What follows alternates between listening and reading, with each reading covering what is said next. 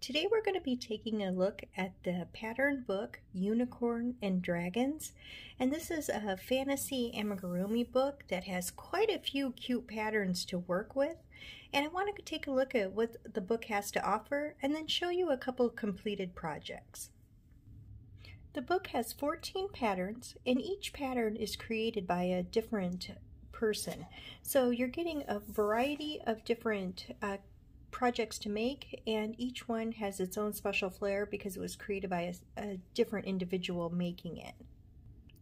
As with most crochet tutorial books, it does have the section where you have your basic materials. I'd let you know that there are skill levels for the different projects and also uh, the different stitches that are going to be in the book. So if you need a refresher or to see how one is done, it'll be right there for you. I want to go through and show all the different patterns that the book has to offer.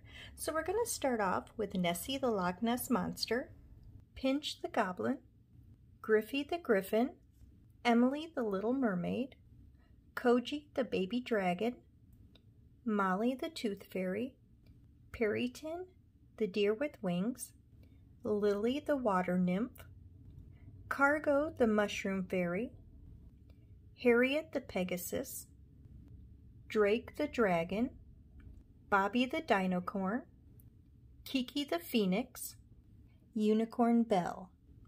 So I wanted to point out a couple things um, when you're working with the projects is it has a really nice layout of what it is you're going to need to complete it. And then whatever you see that this uh, doll has, they're going to show you how to make it as well. So you're not just having to get the doll and then wonder how did they do the rest of the little accessories. They're going to have that included in with it. And again, they have the skill level.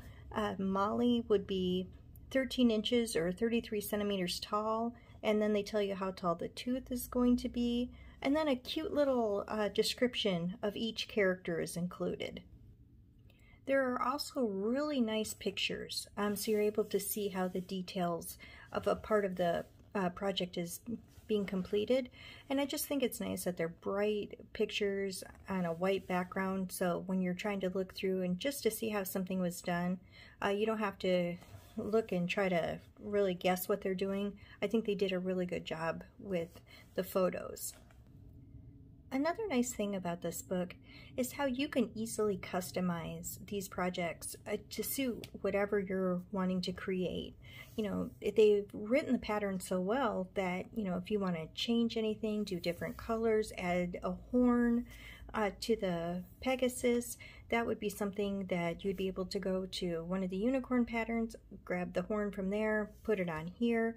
There's a lot of stuff that you can do to kind of really change things up and get so much more out of this book, which is already giving you so much to begin with, but it gives you that option to really go through and change things up to get even more out of it.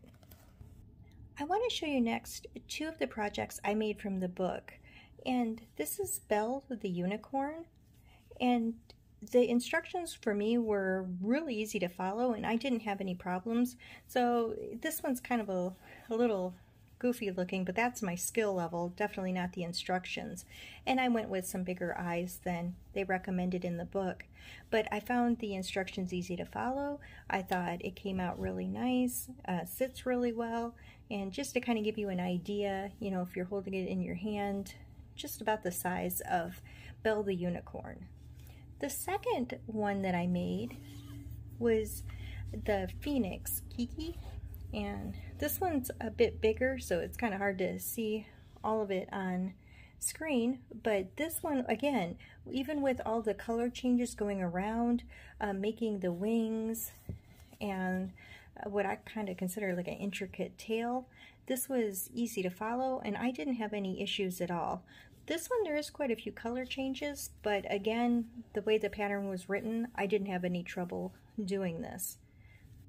As I was going through the book just to see if there was anything else I wanted to add, I came across Molly again. And I thought, what a great gift to give to a child that just lost their first tooth.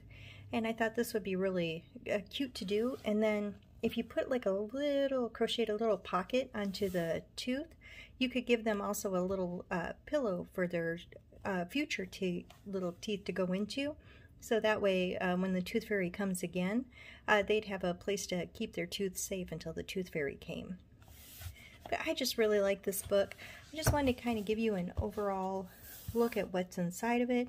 So if you were looking at this one and kind of wondering if it was the right book for you, this will give you kind of a idea and just hopefully it gave you some answers to any questions you might have.